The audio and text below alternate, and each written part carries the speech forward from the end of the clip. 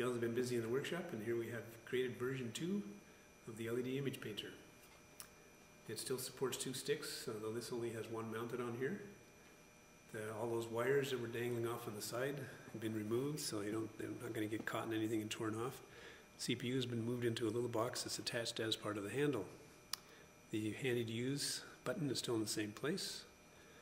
The battery now slides in from the top, and there's a USB connector inside. You can see it right there. You just push the, drop the battery in, give it a little push, powers up, and everything's good to go. LEDs are connected here. There's another connector here for the second one.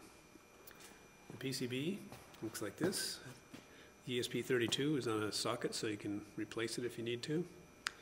SD, micro SD readers on the bottom. Here's the wiring harness for the LEDs and the USB connector for the battery. This card will be made available shortly.